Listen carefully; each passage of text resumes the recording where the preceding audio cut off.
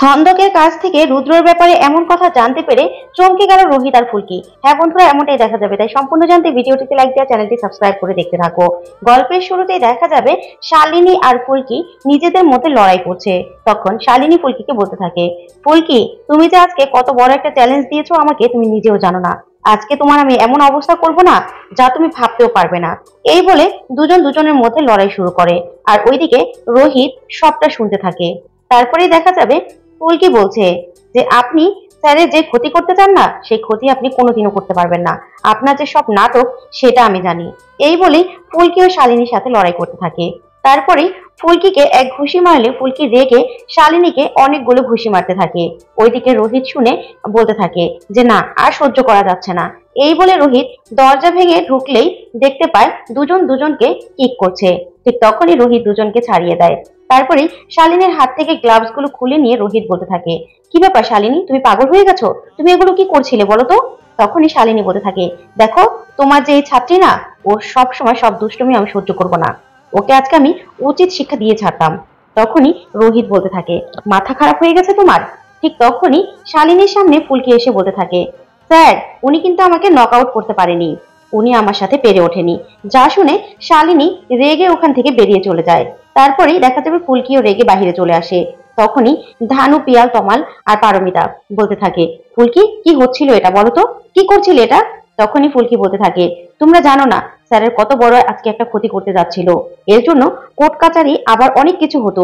স্যারকে ফাঁসাতে চেয়েছিল ম্যাডাম। তখনই পারমিতা বলতে থাকে, সেই জন্য তুমি এত বড় একটা ঝুঁকি নিয়ে নেবে ফুলকি?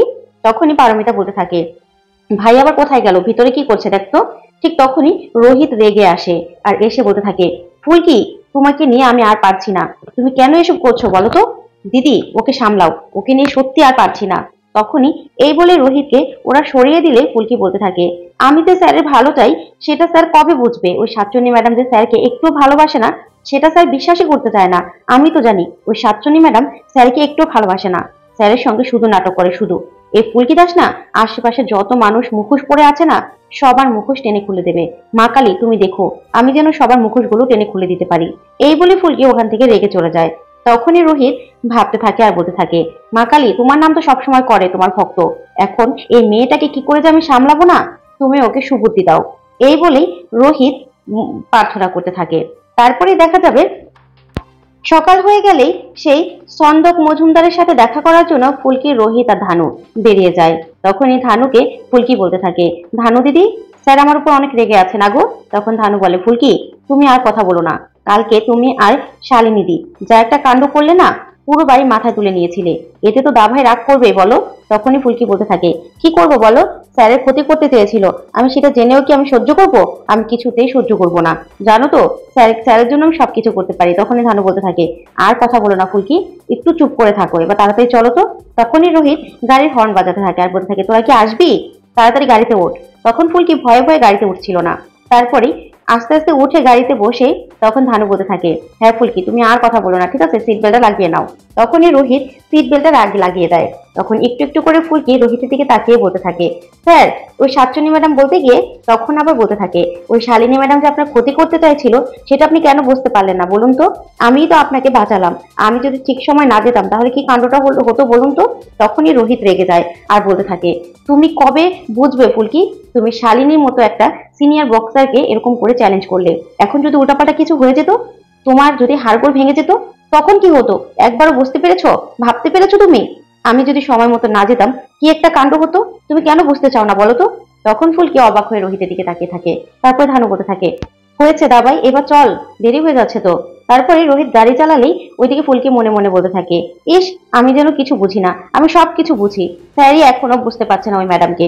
আমি কিছুতেই ওই ম্যাডামকে স্যারের কোনো ক্ষতি করতে দেবো না। তারপরে দেখা যাবে সেই চন্দক মজুমদারের সাথে দেখা করার জন্য সেই সংশোধনাগারে যায়, চন্দক মজুমদারের মায়ের সাথে।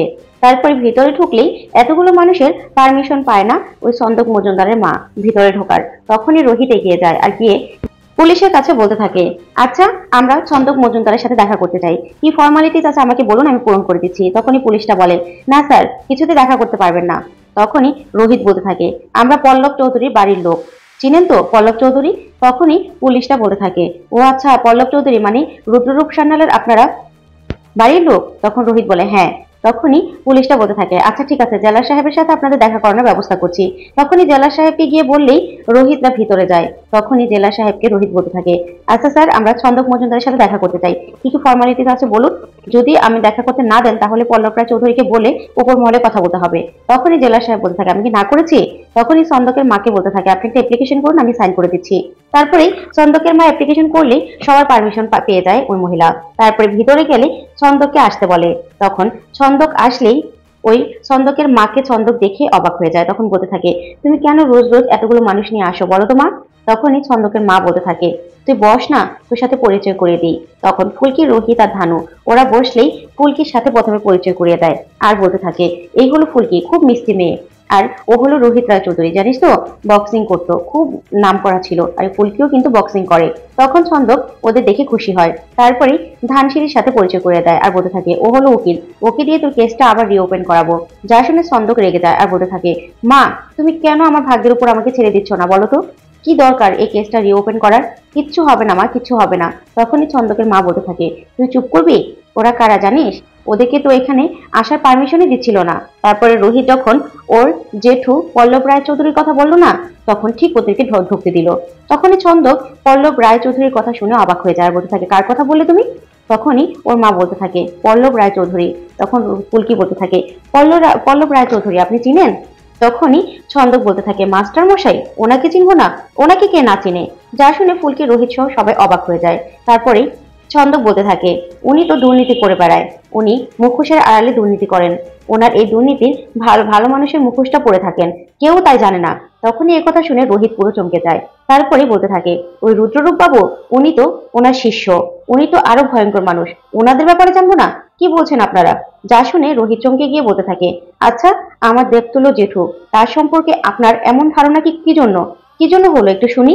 তখনই ছন্দকের মা ছন্দককে বলতে থাকে, ছন্দক, তুই এসব কি বলছিস? তোর মাথা ঠিক আছে? তখন ছন্দক বলে, মা, আমার মাথা ঠিক আছে। যার জন্য আমি এখানে, সেজন্য আমি জানব না? কি বলছো তুমি? আমার, আমি সাজা কাটাচ্ছি, খুনের দায়ে।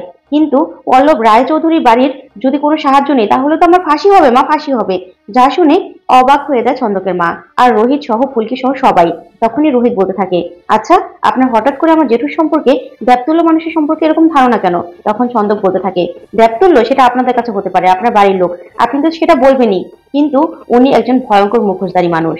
ওনার পিঠ পিছে সব দুর্নীতি চলে। উনি সব দুর্নীতি করার পারমিশন দিয়েছে। ওনার সব দুর্নীতি চলে আড়ালে। আর এই রুদ্ররূপ বাবু তাকে তো আমি চিনি। তিনি আর বড় শিষ্য। আর রুদ্ররূপ বাবু যে কত ভয়ঙ্কর, সেটা আমি ছাড়া আর কেউ জানে না। ওনার ভয়ঙ্কর রূপটা তো আমি দেখেছি। যা শুনে ফুলকি আর রোহিত দুজনেই পুরো চমকে যায়। তারপরে ফুলকি অবাক হয়ে ছন্দকের দিকে তাকিয়ে থাকে। আর ছন্দক রুদ্রর ব্যাপারে সব সত্যিটা রোহিত আর ফুলকি আর ধানুর সামনে বলতে থাকে। আর এদিকে সব শুনে অবাক হয়ে যায় ছন্দকের মা। তো বন্ধুরা, আজকের আপডেটটি কেমন লাগল? অবশ্যই কমেন্ট করে জানাতে ভুলবে না। আর পরবর্তী আপডেট পেতে অবশ্যই চ্যানেলটি সাবস্ক্রাইব করে পাশে থাকা ছোট্ট বেল বাটনটি ক্লিক করে রাখবে। ধন্যবাদ।